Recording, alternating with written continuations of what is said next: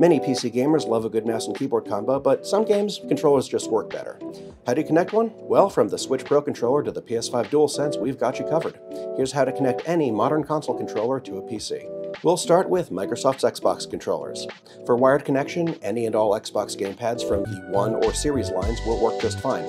For wireless connection, almost all of them will work with Bluetooth, but the original Xbox One controller that came with the first Xbox One, not the S or X, that doesn't have Bluetooth, so you'll need a Microsoft wireless adapter. Otherwise, for wireless play with any of these gamepads that have Bluetooth, you just need to activate the controller by holding down the guide button and then holding the pairing button down for 3 seconds until the guide button flashes. Then connect with Windows using the Bluetooth menu, and it should work automatically. These are built to also work with PCs just fine. Next is the Switch Pro controller.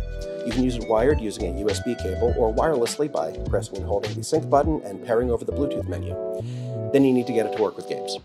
Valve has added full Switch Pro controller support to Steam, which should take care of most of your game library, but for non-Steam games, you need to go one of two ways, using a hardware Bluetooth adapter specifically designed for multiple gamepad types, or a software-based X input wrapper.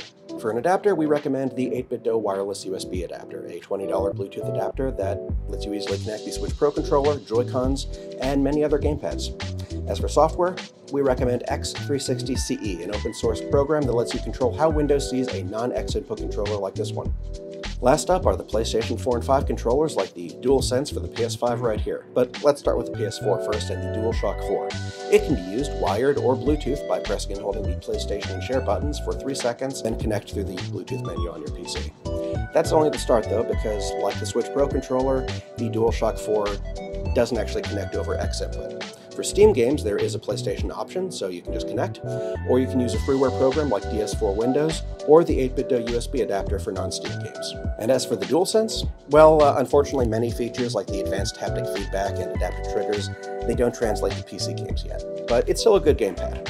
You can use the Steam Beta client to enable DualSense support on Steam games, but otherwise, you, you need to use a USB adapter like 8BitDo's, because there is not a dedicated software wrapper for it just yet.